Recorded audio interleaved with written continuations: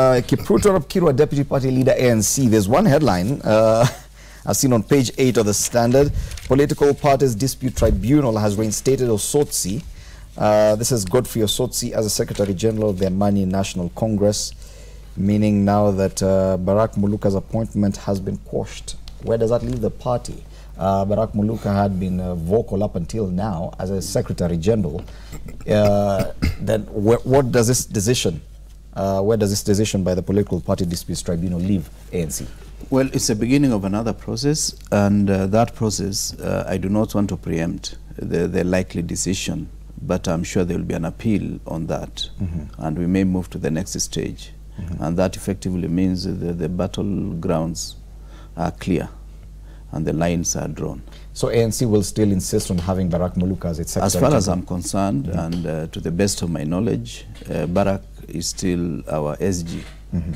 And if the tribunal has thought otherwise, uh, it's a different case because the resignation was not uh, sort of forced on anybody because the two officers who were nominated both to the Senate and to the National Assembly clearly demonstrated good faith before the nomination was done mm -hmm. that they were going to vacate offices to pave the way for other people okay. to come into the party.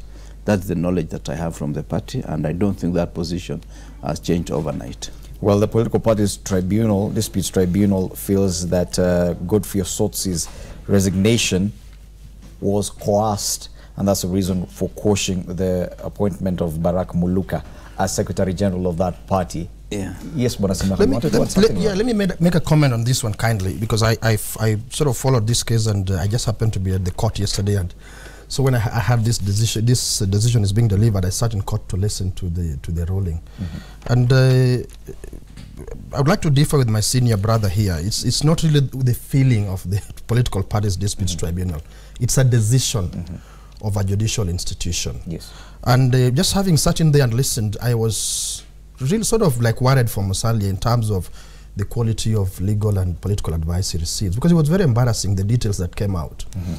Because it turns out that Osotsi never actually wrote a letter. That the, some letter was typed. A resignation letter. Yes, some, mm -hmm. apparently some some undated letter was typed by someone else. Mm -hmm. And um, one night at, at uh, Musalia just asked him, you signed this. But did he sign?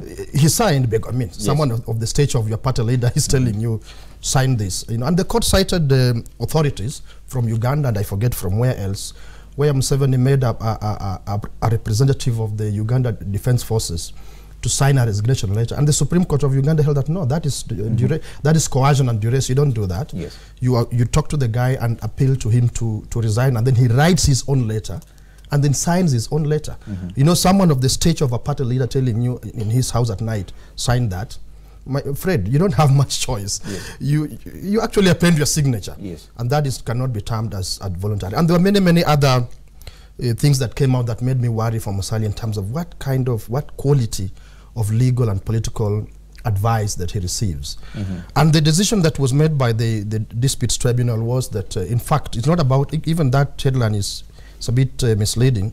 It's not about reinstating. It's as if he never it never happened. Yes. So it held that ab initio, from the beginning, the appointment of Barack Muluka was null and void. Mm -hmm. So Osotsi has always actually by law been the, been the Secretary General and therefore continues to be the Secretary General. Let me tell you finally, surprisingly, I was hearing in court how Osotsi even offered that, can we not handle this more professionally? Can you not give me like about two, three months of transition? Mm -hmm. We mm-hmm. handle this more professionally. I hand over in, in good faith, and then I leave after two, three months. And it was rejected. Wow. I said, goodness. Well, I've, I've heard him, but uh, I think he's not a party member to begin with. And I would find myself hesitant to want to engage on party matters or in the open like this because the avoidance of uh, Barack Muluka's um, position does not in any way mean that is the final arbiter that can decide. Mm -hmm. Therefore, other options are still available for us to ensure that we move to the next stage. And if the leadership of the party does feel it is different, they are taking a different position, I don't think an individual can necessarily bulldoze the position in the party because it is the, the, the, the coalition, the, the coming together of the willing. Mm -hmm. And if majority say no, I don't see how uh, my good friend Osotsi is going to push himself into the party. What about uh, what he says, the concerns about the kind of legal advice that your party leader is receiving? Well, legal advice notwithstanding, it is also clear that uh, some individuals choose to present a case. And because it is the question of the party leader and Osotsi, and therefore uh, it, it will not be proper uh, for us to be arbiters when we do not have any jurisdiction as far as that matter is concerned. Okay.